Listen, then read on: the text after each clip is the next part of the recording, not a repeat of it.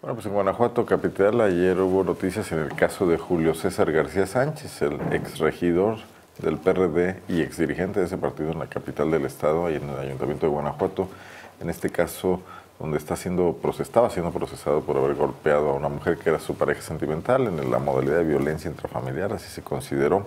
Se le otorgó a Julio César García Sánchez la suspensión condicional del proceso interpuesto en su contra eh, por esta agresión al haber aceptado los hechos, haber aceptado que lo hizo y haberse acogido a procedimientos eh, abreviados. Se disculpó públicamente con ella y su familia en una audiencia celebrada el día de ayer. Eh, Kenia Velázquez, quien ha seguido este caso de cerca, está también en la línea telefónica pues para informarnos más y darnos su punto de vista. Kenia, ¿cómo estás?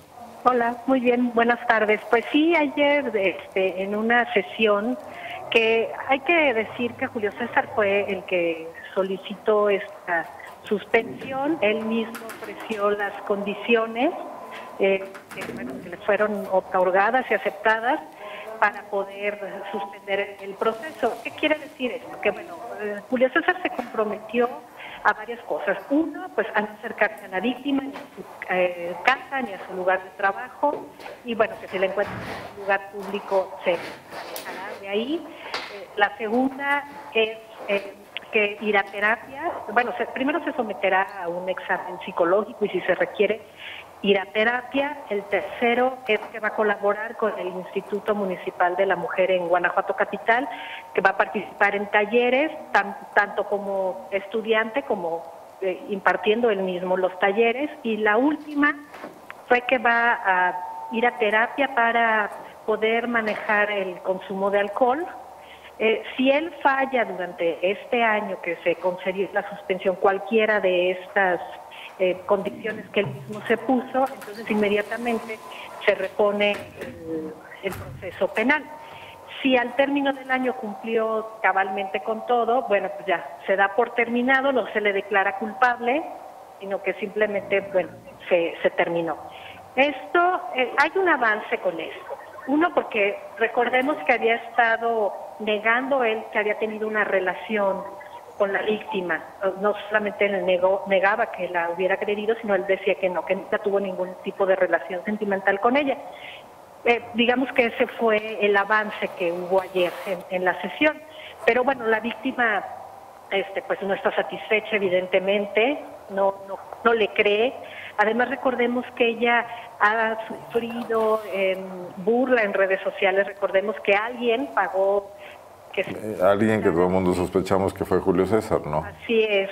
Eh, ha, recibido ella cartas, ha recibido llamadas de, de familiares, inclusive. Bueno, su casa fue asaltada. Su casa en un asalto eh, muy raro, que todo esto, bueno, no está relacionado directamente, no hay manera por lo pronto de relacionarlo directamente con, con Julio César, pero bueno, ella tiene mucho miedo. Y ella, bueno, evidentemente dice que no le cree, que bueno, ayer en la sesión nos contaba que Julio César lloró y tal, entonces dice, bueno, a ver, hace un mes no reconocía que teníamos una relación y ahora de pronto la acepta, se disculpa y hay como un cambio radical, entonces bueno, no le cree. Ella tiene posibilidad de apelar a esto, tiene siete días para hacerlo, posiblemente sea lo que suceda y bueno, ya veremos qué pasa en la apelación.